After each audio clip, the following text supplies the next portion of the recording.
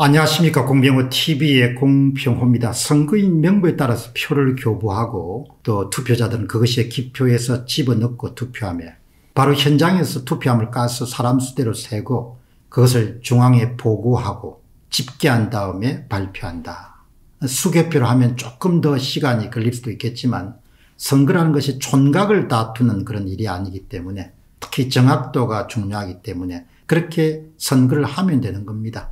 그렇게 되면은 부정선거 때문에 온 나라가 들썩거리지 않겠죠. 선거에는 반드시 검증이란 절차가 함께 포함되어 있습니다. 누구든지 쉽게 검증을 할 수 있어야 투명하고 공정한 선거가 될 수 있을 것입니다. 선거 의혹이 일게 되면 대법관은 현장에서 진짜 투표지와 가짜 투표지를 구분한 다음에 현장에서 바로 가짜 투표지가 발견되면 선거 무효 소송을 선고하면 됩니다. 꼼수를 써서 위조 투표지로 간주되는 것들을 감정 목적물로 미루고 감정에 들어가고자 하는데 그 과정에서 다시 감정 증거물을 대부분이 위조한 것 때문에 또 시끌시끌합니다. 간단한 일을 복잡하게 만드는 선거관리위원회나 대부분은 모두 공정선거에는 관심이 없다고 봅니다. 두 집단을 보면 어린 시절 장터에서 만났던 야바이꾼들을 떠올리게 됩니다. 간단한 것을 헷갈리게 해서 돈을 따먹는 그런 부류의 인간들인데 현재 대한민국의 선거관리위원회와 그리고 대법관들이 똑같은 짓을 하고 있다는 생각입니다. 투표함이란 것이 본래 튼튼하게 만들어서 자물쇠를 잠가버리고 나면 누구도 그것을 손을 댈 수 없게 만들면 됩니다. 투표함이 그렇게 아주 아름다울 필요가 없습니다.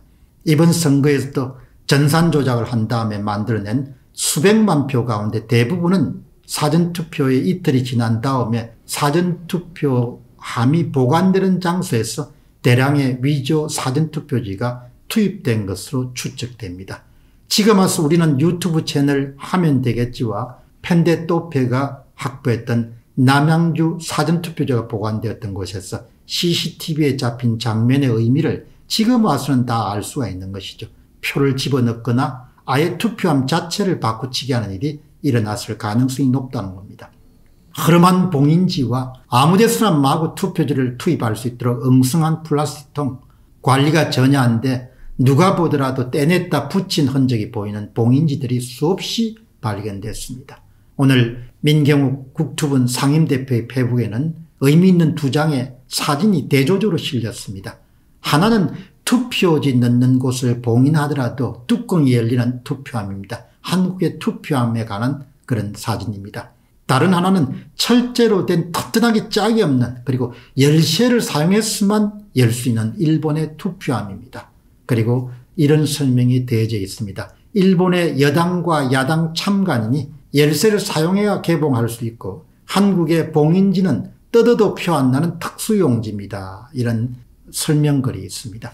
그래서 일본의 투표함이 정말 철제로 되어 있고 자무실을 채우는지 확인하기 위해서 검색을 해봤습니다. 정말 철제로 되어 있고 자물실을 채우고 아주 튼튼하게 만들어서 지금도 사용하고 있다는 것을 여러 건의 그런 이미지 자료를 통해서 확보할 수 있었습니다. 그런데 중앙선거관리위원회 공식 블로그에 들어가면 시대에 따라 달라진 투표함의 변천사가 소개되어 있습니다. 우리나라에서 1963년부터 2006년까지 자무쇠로 잠그는 철제 투표함을 사용했습니다. 그러다가 플라스틱 투표함이 제작되면서 사용 빈도가 점점 줄어들다가 2006년도에 이제 아예 철제 투표함이 없어지게 됐습니다. 1991년 이후에는 알루미늄 투표함이 등장하게 됐는데 아마도 철제 대신에 이제 알루미늄을 사용하게 되면 훨씬 더 내구성도 있고 또 더 보안 장치도 확실히 할 수 있지 않겠느냐 그렇게 생각합니다.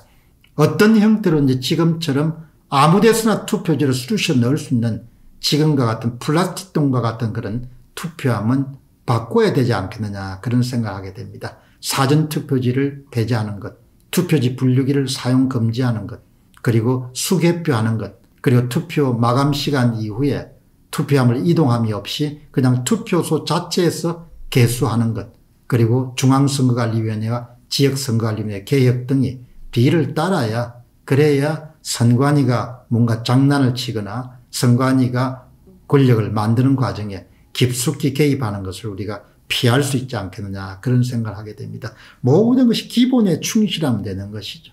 어떻게 투표함 자체가 그렇게 너저분하게 만들어 가지고 어디선가 조금만 하면 봉인지를 뗐다 붙였다 할 수 있고 거기다가 예, 이렇게 만들어진 투표지를 마구 쑤셔 넣을 수 있으니까 이 말이 안 되는 것이죠.